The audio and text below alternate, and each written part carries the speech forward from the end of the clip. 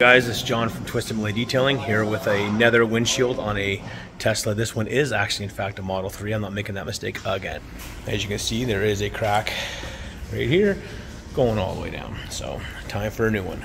And this time, all of this has to come out.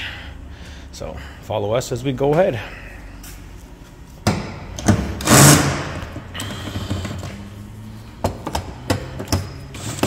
Didn't want to edit that part out. It's not a 10 mil. He's quick this morning. He hasn't had all of his coffees. When you get the right socket, it helps.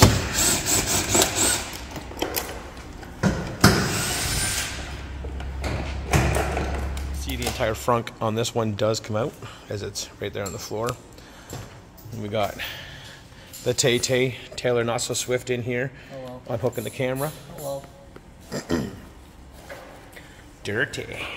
And as we know, there's the battery that runs the whole car. Like on all Teslas. As you can see, got all the camera stuff down now. And Jeff is cutting out the bottom of the window.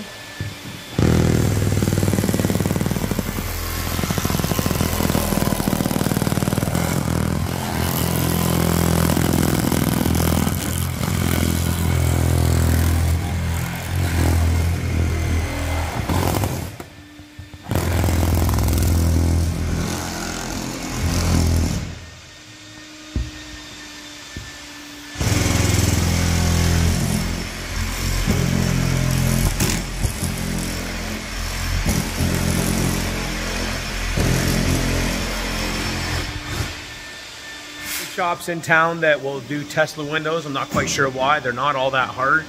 Pretty similar to any other window out there, but most shops in town here won't do it, and we do. So if you need a window done, give us a call, even on your Tesla. See, just like the other one, your camera, lane departure, all that stuff all goes here, clips in, bolts in, and the cover goes over back over top,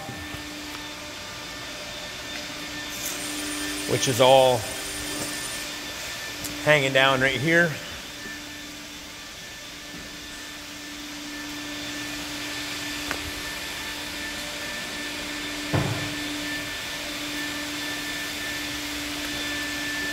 Jeff getting all of his wire all ready to put through the window and cut the rest of the glass out. Maybe this time we won't get caught up here on the little plastic pieces that go into the body. But you never know.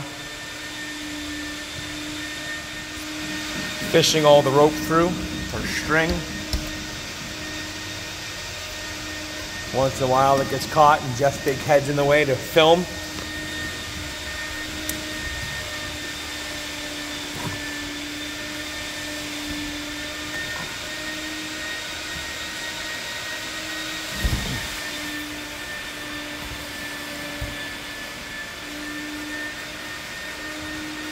Want some help?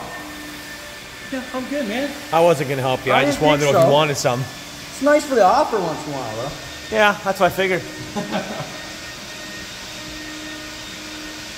How'd you break the window there? Well, that didn't do it. Nah, I battle axed it. Oh. Anyway, kersplat. Actually, I guess not kersplat. Tesla's fancy door handles.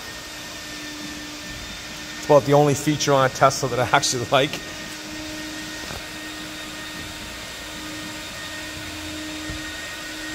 Jeff's gonna snug up the rope now.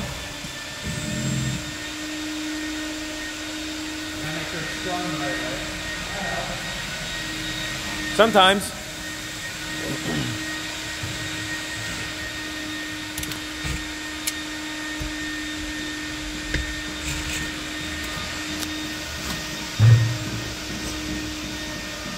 You want the front closed?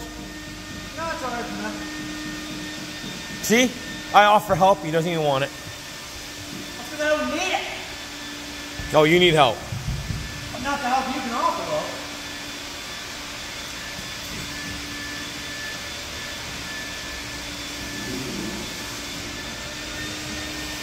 though. As you can see, the rope goes up and around. That plastic piece there is to prevent it from damaging any of the interior parts inside the car.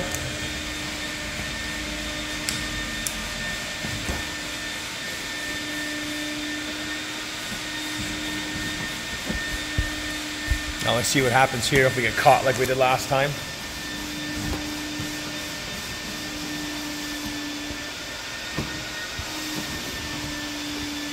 Headliner too thick there? I'm done with it. If you get caught on something, Yep. never fails. See, the problem is most cars don't have this thick of black up top. They usually only have about this much. So because they've got all this, there's so much things inside here that we can catch on. It's kind of a pain in the ass.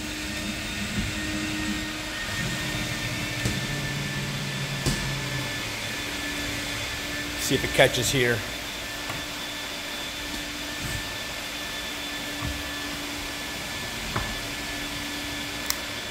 Yep, making it by that one by the looks of it.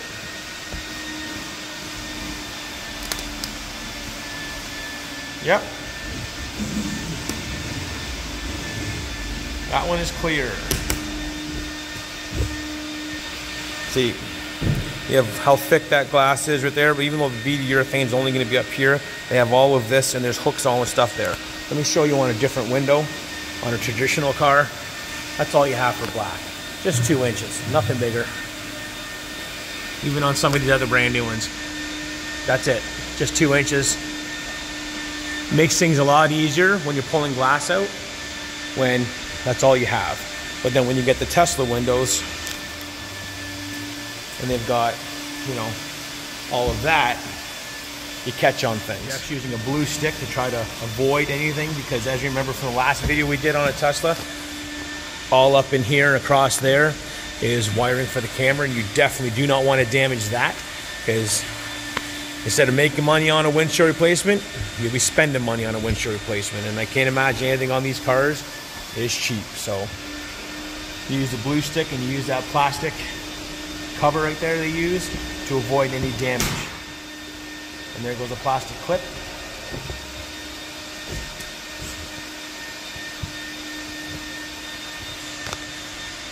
Snug the string back up. Somehow he's got his lines crossed. I want them crossed, unfortunately.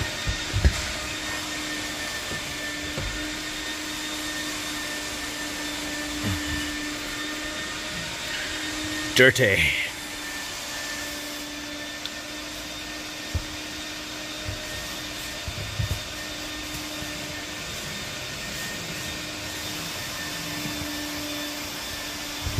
Now let's see how this works. We can get past that plastic clip, or Jeff will be doing it the old school way again and cutting it out by hand. Wrong way.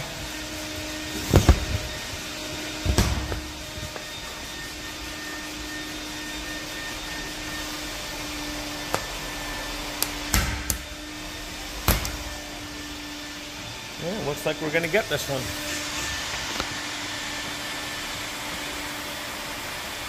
And as long as Jeff's got it cut out all the way around, once that last little corner goes, it should drop down a little bit. All right, got her all. Now she's coming out.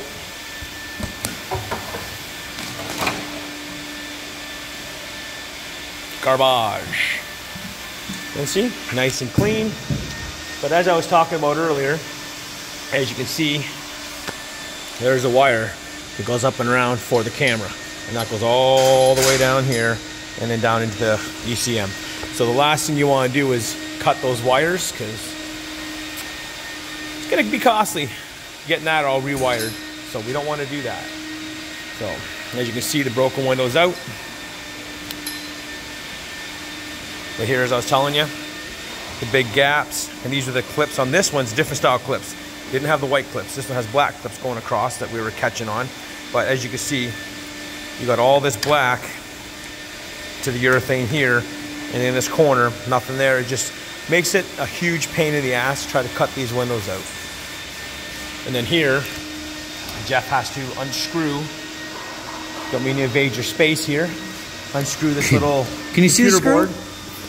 that little sunglass style screw, that computer board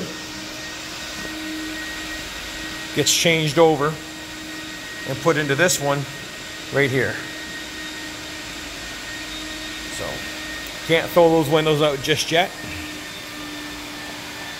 Or you'll be dumpster diving and getting back in there to get that out. You're wondering what this mess of wires are. That is your heated wiper park area. As you can see, this one's not cut. It's got a nice brand new end on it. So your heated wiper park area is across here, across this whole bottom. There's defrost lines. Some windows you can see them, some you can't. But what that does is when your wipers are in the off position, it keeps them defrosted for you. So they don't freeze up in theory. A lot of newer cars have, not just Tesla. Um, but most cars you can actually see the defrost lines similar to what your back window would look like. Um, see, Jeff's already got the new window set and ready. I missed videotaping it because, you know, it was quicker than I got here. But that is now in the new window, ready to go, and out of the old window. Now it's time to prep everything.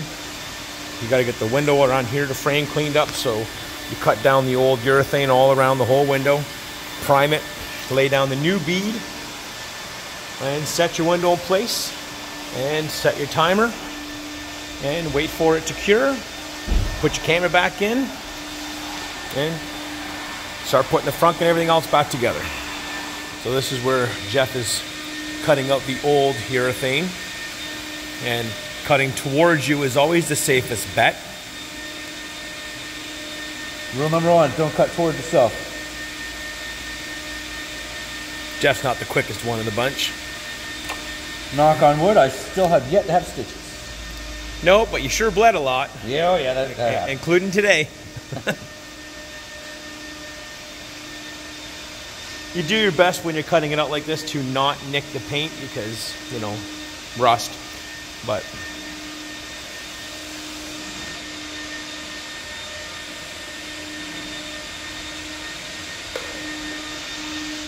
As you can see now, he's putting activator around all the seal, the seam he just cut out. So the urethane has something to stick to. And then Taylor over here, doing nothing like always. I'm just having a drink. Yeah, he's supposed to be cleaning that truck. I'm cleaning it. looks better than it did. Yeah. That's what we say about you two when it's dark out.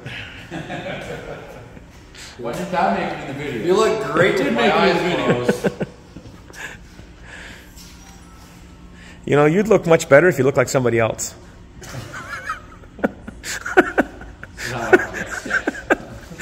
You look much better if you look like See, Jeff's getting his suction cups ready, which is called the little buddy.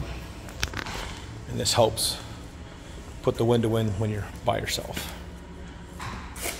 You put that lever right here inside that lever right there and use the handle on the other side and swing it around. You'll see that happen in a second here.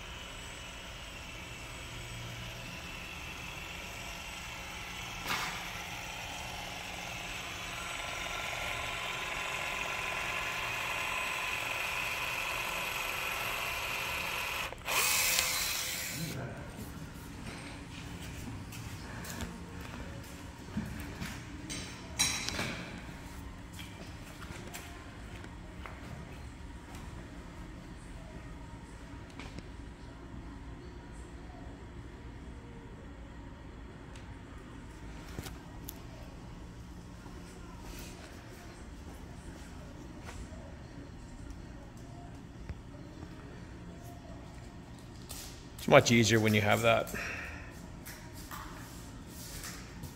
Does make life so much easier.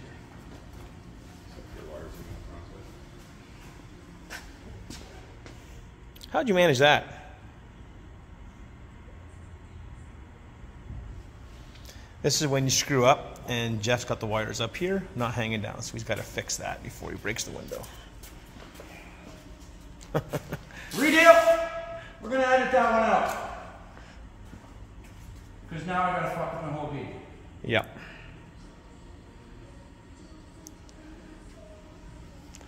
Don't let that happen, guys.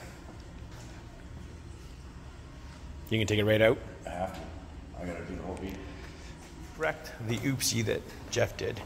He did this, which is what he normally does, is tape it up here so it's where it needs to be. But, you know, things happen. We fixed it before it got too far in. Now he's just blending up his seams again. And we'll drop the window back in place. All right, we're going for it again. This time, as you can see, it's taped where it needs to be. Let's see how the little buddy works. And this time the heated wiper park area wire is there.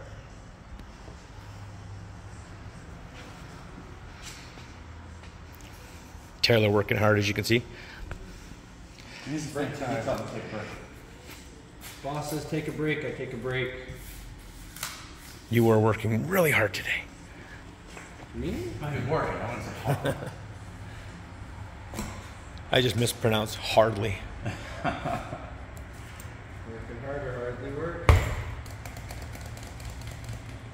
don't like to strain myself as I work, you know? Oh, we get that. Like, gotta, gotta take a break. Big problem averted. Everything is good. Wire is where it needs to be temporarily, and then we'll plug it in down there once we get to that point.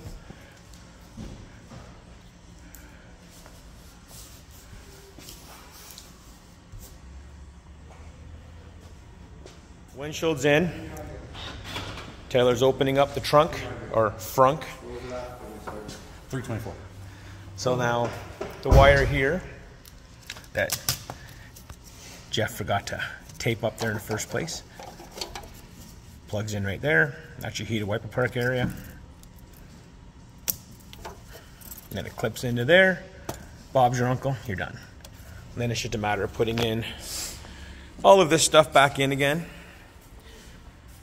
and cleaning it up. As you can see, we've got the cowl back on. Jeff's putting the wipers on, and this time he's remembering to put the washer fluid in before we put the rest of the front together. Generally, you only make a mistake once and learn from it. Jeff makes them lots of times to make sure that it was correctly to make the mistakes.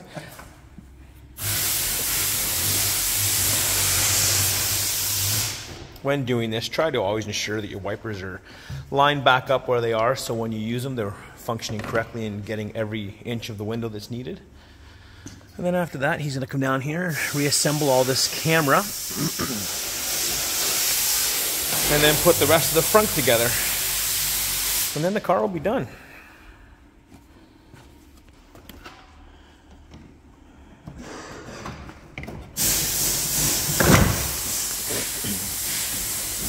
Very strange design.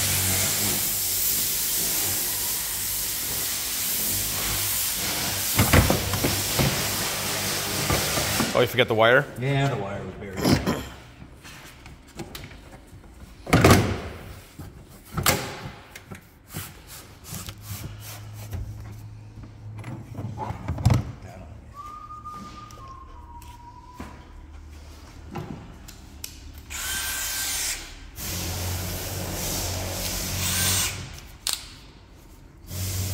I won't bore you with the boring parts here of him reassembling with the bolt. That that you don't forget. It goes to the wiper fluid.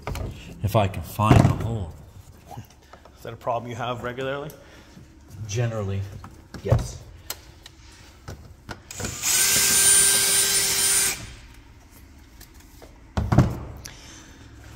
Much gooder.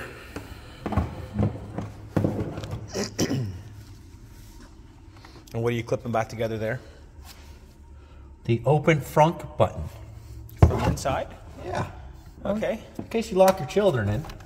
Well, that's a small hole to be doing that in. Small children. I guess so. The final piece for the assembly of under the hood, or frunk as they call it. Family. And he's uh, a little crazy. Did all of it myself. You ain't done yet. Okay. I just saw your ce- celebration dance there. You still have all of this part. I think you'd be getting used to this by now since you keep doing these cars. I should be, but I'm on the wrong side of the car. I actually should be on that side. Then I'll move and you come sit over here. Well, I was hoping I could just slide it into place, but it's not cooperating at all. Switch! okay. Let's try this again. Oh, we weren't worried. I know. But I wanted to make sure that you weren't, you know. Sorry for you over here. the best there ever was. You got your little screws.